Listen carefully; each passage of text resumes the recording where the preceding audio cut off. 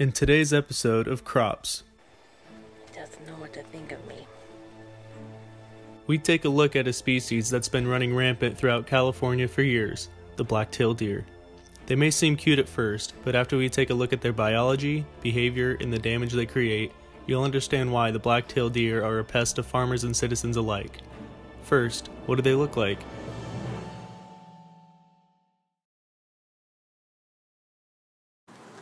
Adult blacktail bucks can reach up to 6 to 7 feet in length with a shoulder height of about 3 to 4 feet. They can also be noticeably smaller than their related species, the mule deer, weighing 75 to 225 pounds with an average of 100 to 140 compared to the mule deer's 125 to 330 pound frame. Does are a little smaller than the bucks. They grow up to be approximately 4 to 5 feet in length and weigh 60 to 150 pounds with an average of around 90 pounds. Even from a distance, this animal can be distinguishable by its stocky body and long, slim legs. The black-tailed deer has a reddish-brown color in the summer and more of a brownish-gray during the winter. However, one of the easiest ways to pick out a black-tailed deer from a crowd is just by looking at its tail. Just as the name implies, they have completely black or brown tails that are all white underneath, while mule deers have smaller tails with dark brown only on the tip of the tail. Black-tailed deer have large ears that can move independently, which helps them have a great sense of hearing. This hearing helps them detect which direction prey may be coming from, aiding in an escape. Each year, bucks get a new set of antlers. The deer will begin growing them when they are around 6 to 8 months in age. Once the deer shed their old antlers around December, they begin the process of growing new ones. These antlers will grow under a layer of skin called velvet. The velvet is extremely sensitive to the deer, so they will try to stay in the open and avoid injuring the new growth. The growth is very rapid, occurring over a period of about 150 days and ending around August. Once the growth is finished, the deer shed the velvet by rubbing it on trees and shrubs, exposing the hardened antlers. Black-tailed deer are expected to live an average of about 9 to 10 years, but can reach as many as 17 to 20 in captivity. However, hunting can have a big impact on their life expectancy. Areas where bucks are heavily hunted will have an average lifespan much lower, potentially at 3 to 5 years. Black-tailed deer like to feed along tree-line edges, where cover can easily and quickly be found. They are ruminants and feed mainly on acorns, berries, grasses, nuts, shrubs, woody growth, and many herbaceous plants. The black-tailed deer's mating season is typically from November to December. This time is called the rut. During the rut, females are in heat for around 22 to 29 days. Male black-tailed deer will mate with multiple females during the rut, and once the rut is over, the male will have no connection with the fawn that is born. The gestation period is 7 months, and fawns are born as early as May or as late as October, weighing between 6 and 8 pounds.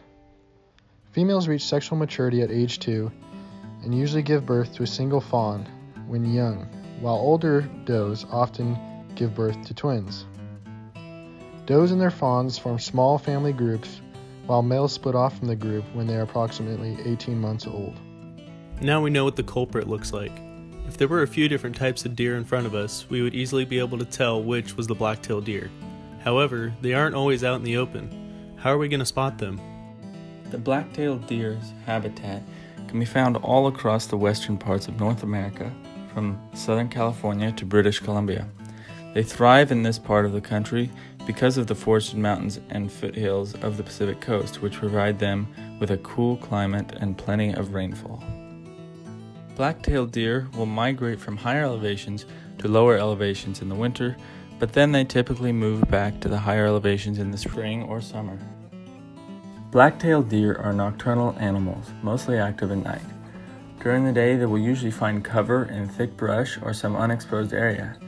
During the rut, bucks are much more active during the day. You will find black-tailed deer feeding in open areas during the night and along borders of brush and forest cover during the early mornings and evenings. During the day, they will take cover in wooded areas to protect themselves from predators and shelter from the weather. Sparring is a common behavioral characteristic of bucks that is used to establish dominance and breeding rights. Females and males communicate through pheromones that are secreted from glands in the lower parts of their legs. There are many signs that a black-tailed deer has been in an area. The most common way to identify if a deer has been present is to look for its tracks. Deer hoofs and imprints are split, pointed in the front, and more rounded in the rear, giving them a split heart shaped look.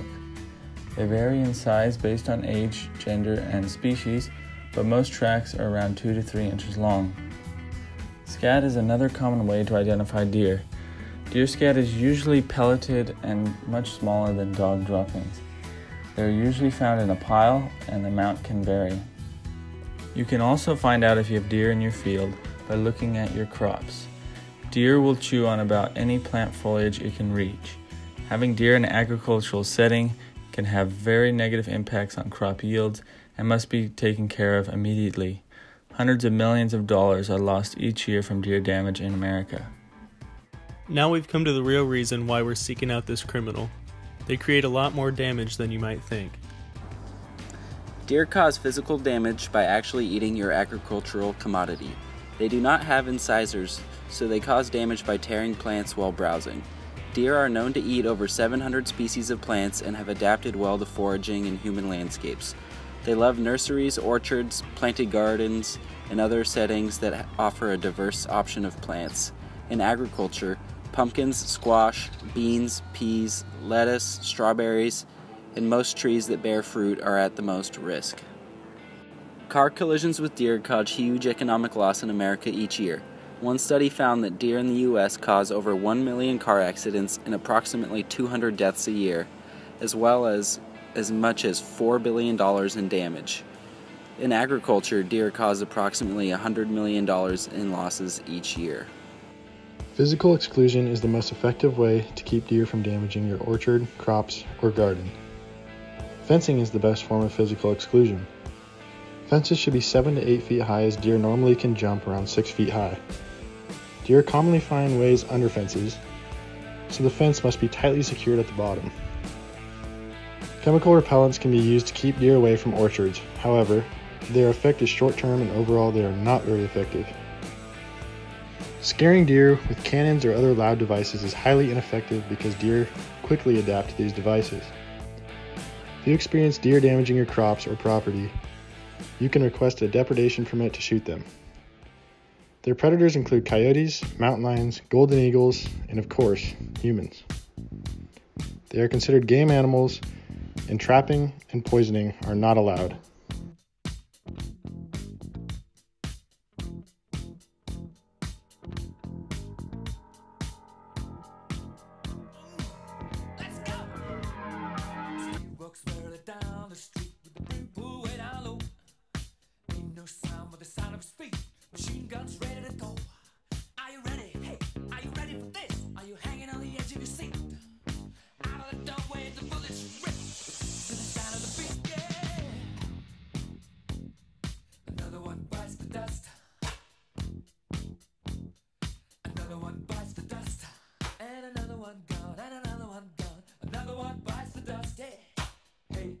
Gonna get you. Another one bites the dust. To many people, deer are just a nice, friendly animal that you see in the movies. Heck, they're even a wild animal that will walk up to you and eat straight out of your hand without harming you. To others, they may be an animal that are a blast to hunt when they're in season.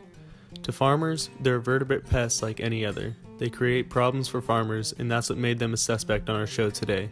We weren't able to catch one in this episode, but now that we know the proper management techniques, we may be able to keep this pest out for good. In next week's episode of Crops, we take a look at a few different species that, well, may not be so nice.